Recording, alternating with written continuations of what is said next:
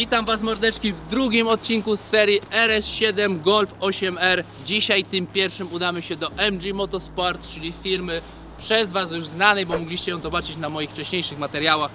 Dzisiaj Was zaproszę do środka, zobaczycie jak produkują się układy wydechowe, a na koniec zamontujemy nasz sportowy do Audi RS7 i zobaczycie jak to tak naprawdę teraz będzie brzmieć o ile jest głośniejszy taki układ wydechowy, a tak naprawdę też jakie to są koszty i czy jest jakikolwiek przyrost mocy, bo też pojawimy się na hamowni. Zanim zaczniemy ten materiał, to pewnie część z Was zauważyła co stoi za mną, czyli Audi RS6. Jest to jeden z kilkudziesięciu samochodów, który trafi do naszego nowego projektu o nazwie MGP Rent. Jest to nie tylko wypożyczalnia, bo tam też również będzie ciekawa rywalizacja, gra, więc naprawdę warto wejść na naszego Instagrama MGP Rent i na mojego MGP Garage, bo tam dużo ciekawej motoryzacji, dużo grubych fur, którymi i Wy będziecie mogli jeździć. To co, zapraszam Was do dzisiejszego materiału, w którym przerabiamy układ wydechowy Audi RS7.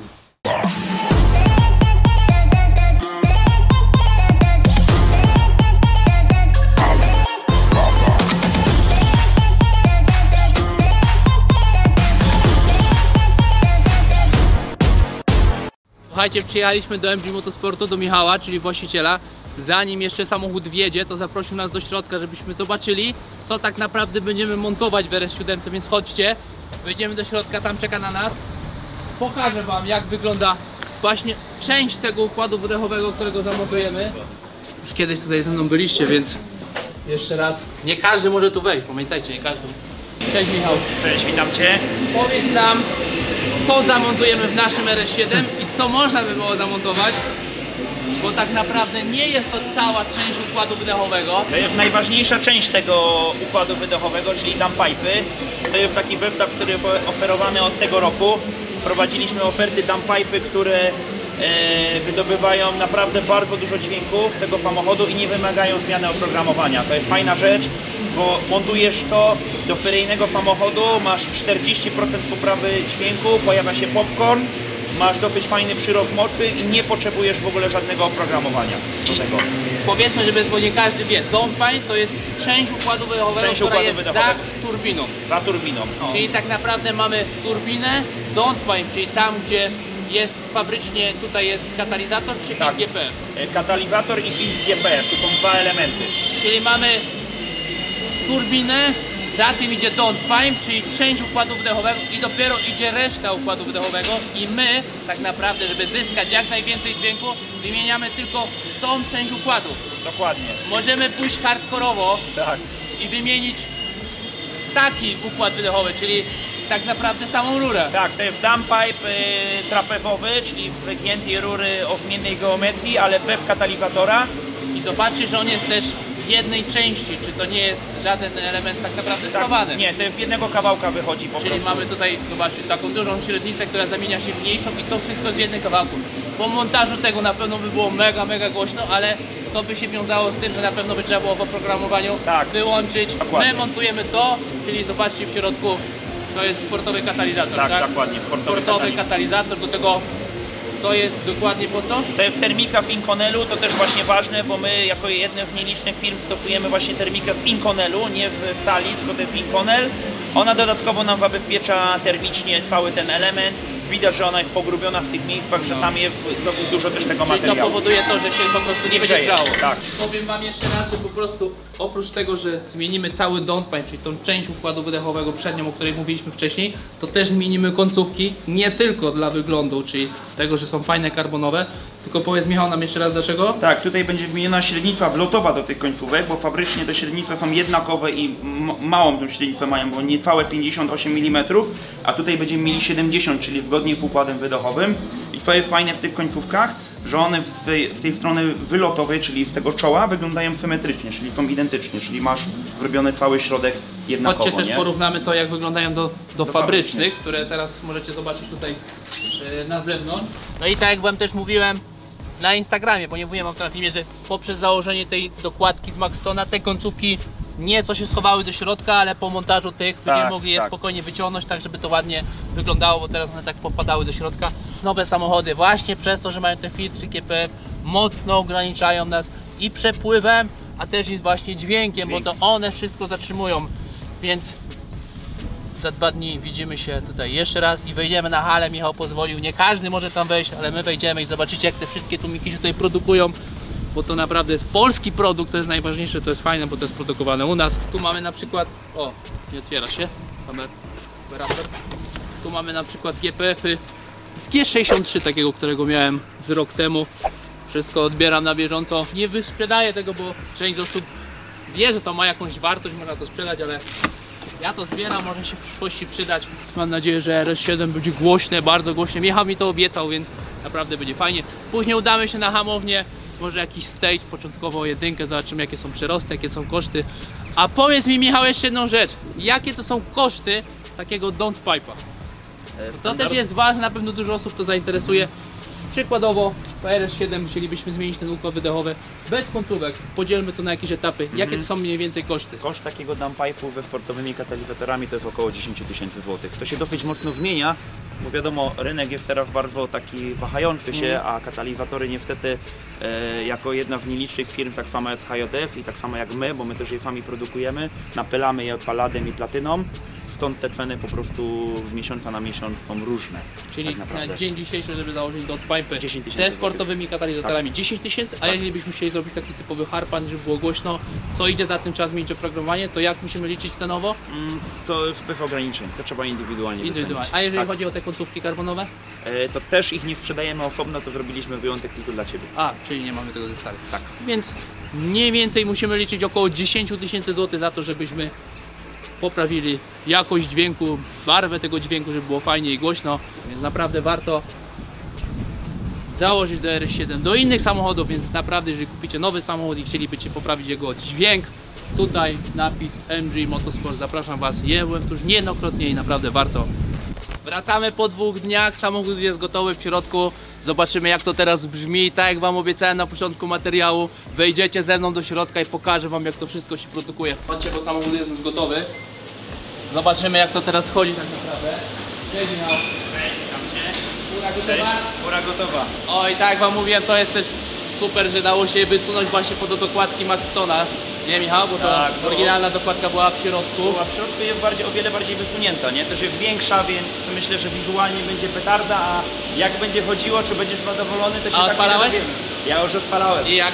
No nie wiem, poczekamy na twoją reakcję. dawaj. Fajnie, że w karbonie, za wiele tego karbonu tutaj nie mam, ale najbardziej mi zależało właśnie na tym, żeby ta końcówka była wysunięta. Minusem, jeszcze minusem jest to, że oryginalnie mamy odcięcie przy 4000 obrotów bodajże, więc nie możemy przekazować maksymalnie. Ale różnica jest i to jest fajne w czteroizrówce, że ten dźwięk jest taki basowy, a nie tak jak było w M3, taki, taki pusty. Mi osobiście się w M3 średnio podobał dźwięk.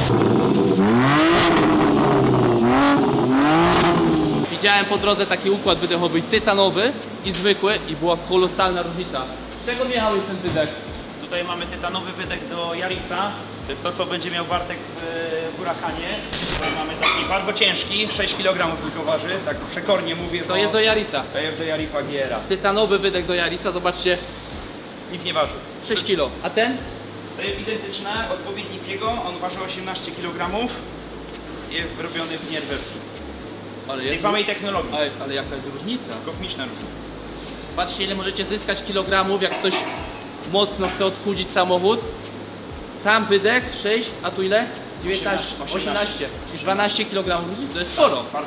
Ludzie są w stanie akumulatory zmieniać na mniejsze, żeby zyskać parę kilogramów, czy dwa, trzy, ale to... To jest bardzo duża różnica. To też fajnie, że w tej technologii takiej, że nie ma żadnego elementu spawanego. Wszystko jest wgięte na CNC, nie? Więc No. nie ma żadnych spaw. Zobaczcie jak macie wygiętą rurę, Możemy Możesz sobie? Tak. I nie ma tak naprawdę spawu, bo często jakbyście gdzieś sobie pooglądali w sieci wydechy jak są robione, to, to są takie łączenia, Tak, nie? łączenia. Kolanka. Tak. No nic, wyjeżdżamy RS7 na zewnątrz, a ja wrzucam... Tak, lekki się przewrócił, a ja wrzucam wam teraz ciekawe przebitki z tego, co się tutaj tak naprawdę dzieje, produkuje. 3, 2, 1.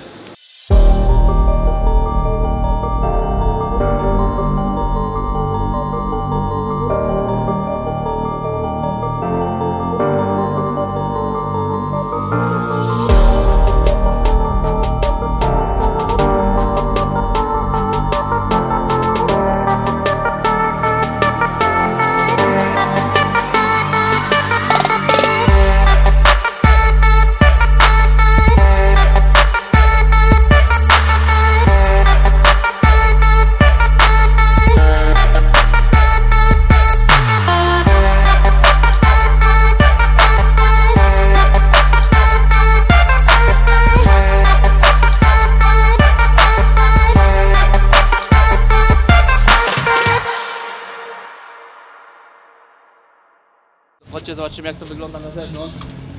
Jak to brzmi tak naprawdę na zewnątrz, zobaczymy tutaj. A może też się uda, y, Michał ma takie urządzenie, którym sprawdzamy decybele i zobaczymy jak brzmi z zamkniętymi klapami i z otwartymi. Właśnie też się dowiedziałem teraz od Michała, że samochód ma taką opcję, że możecie go maksymalnie podnieść do góry, ale tylko do 50 na godzinę. On teraz nawet jest podniesiony. Więc jakbyście kiedyś gdzieś chcieli wysoko wjechać albo coś, to patrzcie, jaki jest, jest prześwit.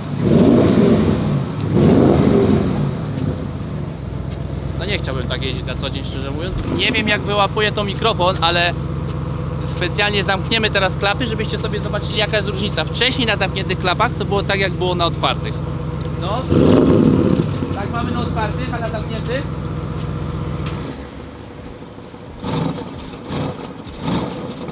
Teraz właśnie możecie to idealnie się wsłuchać, jaka jest różnica między otwartymi a zamkniętymi klapami. Masz Michał te takie urządzenie, którym mogliśmy sprawdzić decybele? Ja kiedyś go od Ciebie pożyczałem. Musiałbym zobaczyć. Warto by było sprawdzić z ciekawości. Jaka jest różnica na zamkniętych a na otwartych? Michał, jaki może być taki plus minus przyrost po takim układzie wydechowym? Po tym zestawie, który teraz tutaj od nas dostałeś, jest około 25-30 koni. A wiesz, że to sprawdzimy. Jasne.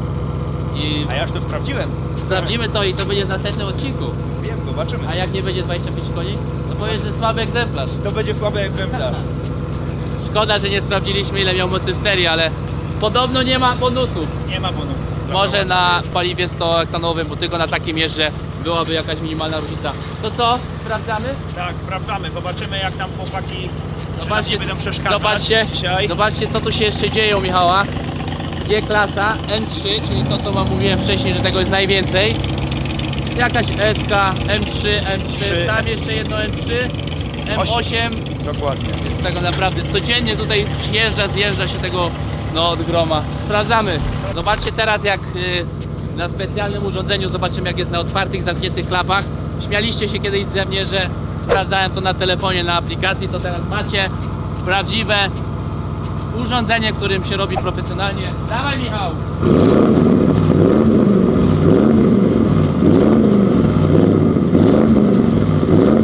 Dobra. Zatrzymuje się 103.4 dB. Teraz zamkniemy klapy, albo już zamknęliśmy klapy. Dawaj teraz. Ty, ale daj tam jakiś gazu. 8. Dajesz gazu. 84,9. Czyli różnica jest spora. Powiedziałbym nawet kolosalna. 84,9 Michał. Tak, a w czasie jazdy będzie jeszcze większy. To zaraz to sprawdzimy, właśnie jak jest w czasie jazdy. Więc idziemy jeszcze szybko zrobić rundę. Zobaczymy jak jest pod obciążeniem. Teraz najważniejsze, czyli pod obciążeniem, bo to daje największy efekt, bo to, że sobie będziemy gazować w miejscu, to już widzieliście to na materiale wcześniejszym, że nawet i w serią fajnie, jeżeli gazowaliśmy lekko brzmiał. Ale chodźcie na główną ulicę. Jedzie już Michał, ale on pięknie wygląda.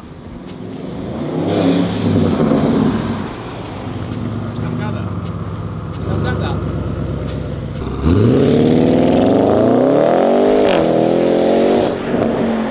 Nie, fajnie. Fajna jest barwa dźwięku, bo tak jak wam mówiłem, że w M3 był taki bardziej metaliczny, a tutaj zachowaliśmy, Michał też to powiedział, że jakby było troszeczkę głośniej, już byśmy nachodzili na ten dźwięk taki metaliczny, pusty, a tu jeszcze mamy tu taką tak zwaną chrypkę, jest naprawdę fajnie. Zobaczymy jak od przodu jeszcze słychać. Podnosi przód.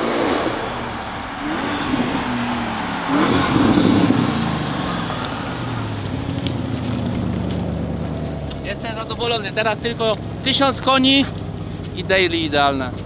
Żegnam się dzisiaj z Wami w tym naprawdę fajnym materiale i zachęcam Was do zostawienia subika na tym kanale, łapki do góry, no i oczywiście wejścia na mojego Instagrama, który wyświetla Wam się tu teraz w góry, MGP Garage, bo tam dużo wcześniej mogliście właśnie zobaczyć jak brzmi taki RS7 i to co teraz się tak naprawdę przy tym aucie dzieje. Ja żegnam się z Wami i co, widzimy się za tydzień.